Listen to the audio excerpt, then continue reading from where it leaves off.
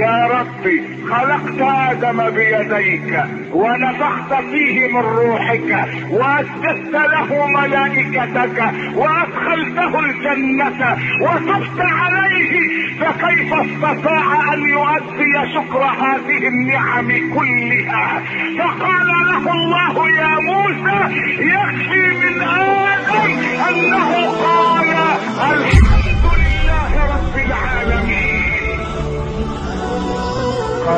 يا رب إذا قال العبد يا رب وهو راكع ماذا تقول له؟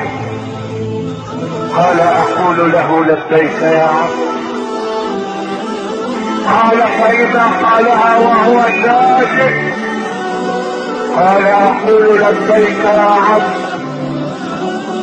قال موسى فإذا قالها وهو عاص قال أقول له لبيك لبيك لبيك.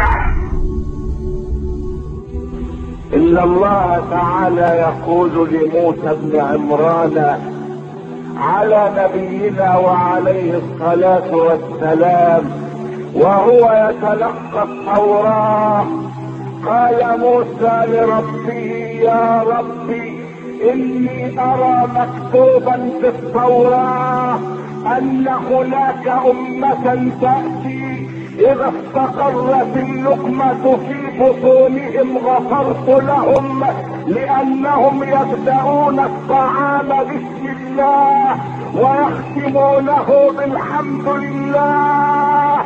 اللهم اجعلهم أمتي يا ربي. قال الله لموسى يا موسى إنهم أمة محمد.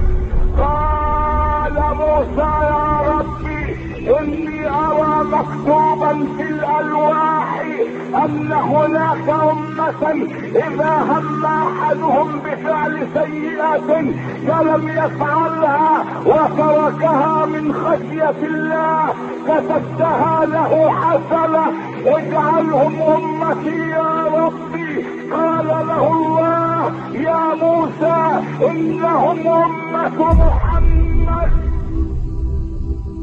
قال موسى يا رب. ارى مكتوبا في الألواح ان هناك امة إذا هم أحدهم بفعل حسنة ولم يفعلها كتبت له حسنة. فإذا فعلها كتبت له عشر حسنات. إلى سبعمائة ضعف.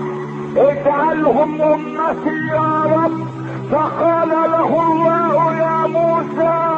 إنهم أمة محمد فقال موسى يا ربي اجعلني من أمة محمد.